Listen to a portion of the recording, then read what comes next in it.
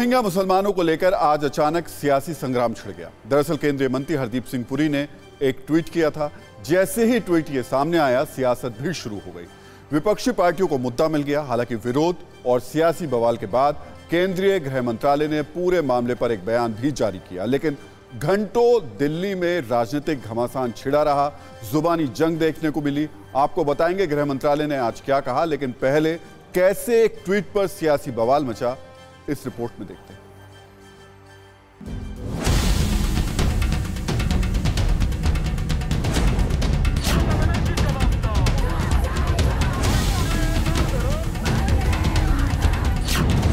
Rohingya को लेकर नया सियासी रार शुरू हो गया है।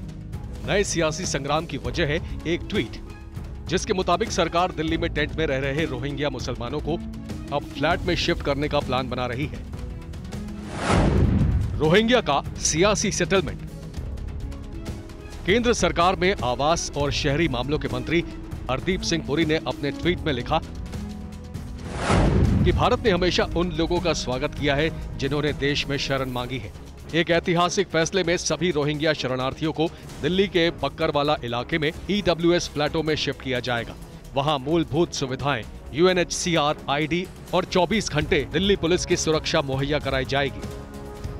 घुसपैठिए और शरणार्थी। इनमें फ़र्क है। भारत की ट्रेडिशन रही है कि जिन लोगों ने शरणार्थियों के रूप में भारत से मदद मांगी है भारत की पुराने काल से पुरातन काल से उन लोगों ने उनके भारतीय सभ्यता ने उनको मदद की है उनको, उनको आत्मसात किया उनको शरण दी है।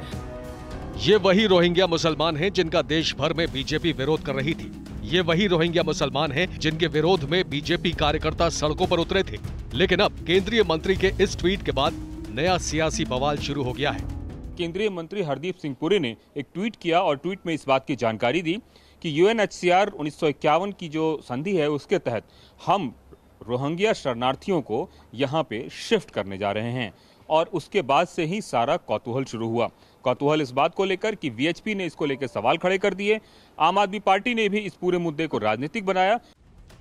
केंद्रीय मंत्री के ट्वीट के बाद अब सियासी विरोधी सवाल उठा रहे हैं। आम आदमी पार्टी के प्रवक्ता सौरभ भारद्वाज ने इस फैसले पर तंज कसते हुए कहा कि भारत के अंदर रोहिंग्या लाने वाले बीजेपी के लोग हैं, अब बसाने वाले भी बीजेपी के लोग हैं। अपनी पीठ थपथपाने वाले भी बीजेपी के लोग हैं।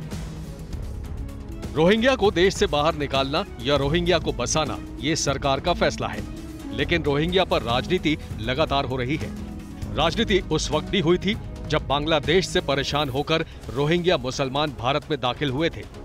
राजनीति उस वक्त भी हुई थी जब महिलाएँ, बच्चे, बुज़ुर्ग भी अलग अलग सीमाओं से भारत में शरण लेने के लिए आए थे।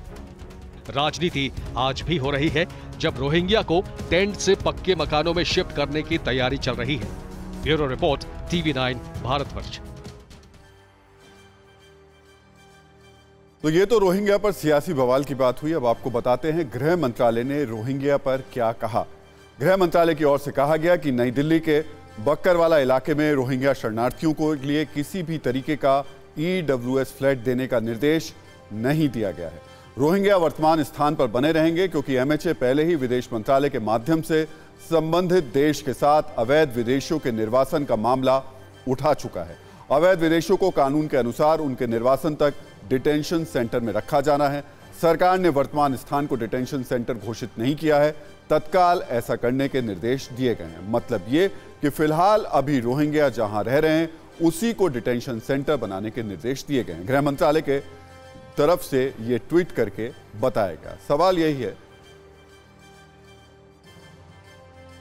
तो सवाल यही है कि आखिर रोहिंग्या पर राजनीति क्यों है? ये रोहिंग्या कौन है? कहाँ से आए हैं? सबसे अहम सवाल राजनीतिक दल रोहिंग्या पर राजनीति क्यों कर रहे हैं? ऐसे कई सवाल हैं, लेकिन पहले आप रोहिंग्या मुसलमानों के बारे में थोड़ी जानकारी ले लीजिए। रोहिंग्या एक स्टेटलेस या राज्य विहीन जातीय समूह है। ये इस्लाम को मानते हैं। म्यांमार के रखाइन प्रांत से आते हैं। उन्नीस सौ बयासी में बौद्ध बहुल देश म्यांमार ने रोहिंग्या की नागरिकता छीन ली थी। शिक्षा, सरकारी नौकरी समेत कई अधिकारों से इनको अलग कर दिया गया था। तब से म्यांमार में रोहिंग्या के खिलाफ हिंसा लगातार जारी रही। साल 2017 में हुए रोहिंग्या के नरसंहार से पहले म्यांमार में उनकी आबादी करीब 14 लाख थी। 2015 के बाद से म्यांमार से 9 लाख से ज़्यादा रोहिंग्या शरणार्थी भागकर बांग्लादेश और भारत समेत आसपास के अन्य देशों में जा चुके हैं। अकेले बांग्लादेश में रोहिंग्या की संख्या तेरह लाख से ज़्यादा है। तो जब बांग्लादेश के ज़रिए देश में रोहिंग्या मुसलमान दाखिल हुए थे, उस वक्त भी ज़बरदस्त बवाल देखने को मिला था। पार्टियाँ अपने हिसाब से इसे मुद्दा बनाकर राजनीतिक रोटियाँ सेक रही थी। आपको बताते हैं कि आखिर भारत में रोहिंग्या की तादाद है कितनी। अनुमान है कि भारत में रोहिंग्या मुसलमानों की संख्या करीब चालीस हज़ार है, जो देश के अलग अलग राज्यों में रह रहे हैं। इनमें से करीब बीस हज़ार रोहिंग्या मुसलमान रजिस्टर्ड हैं। ये शरणार्थी के रूप में रजिस्टर्ड हैं। दिल्ली में Rohingya United Nations High Commission for refugees यानी यूएनएचआरसी के साथ रजिस्टर्ड हैं। दिल्ली में एक हज़ार रोहिंग्या शरणार्थी रजिस्टर्ड हैं। दिल्ली में कम से कम पाँच ऐसे अनौपचारिक शिविर मौजूद हैं, जहाँ रोहिंग्या की आबादी बड़ी संख्या में है। इसमें जसोला, यमुना नदी का किनारा, श्रम विहार, कंचन विहार, साउथ दिल्ली स्थित मदनपुर खादर है। भारत में रोहिंग्या की बसावट के मामले में दिल्ली प्रमुख जगहों में से एक है। और इस मामले पर क्या राजनीतिक आरोप प्रत्यारोप देखने को मिला वो भी सुन लेते हैं। अरविंद केजरीवाल और आम आदमी पार्टी के वरिष्ठ नेता और उनके मंत्रीगण के सोशल मीडिया अकाउंट विदेशी धरती पर रहने वाले लोगों के द्वारा संचालित किए जाते हैं। तो देखिए सियासत में कई ऐसे मुद्दे होते हैं जिसमें राजनीतिक पार्टियाँ एक दूसरे पर आरोप प्रत्यारोप लगाती हैं। इस कहानी पर भी हम आएँगे। जिसको लेकर के आज बीजेपी और आम आदमी पार्टी के बीच घमासान हुआ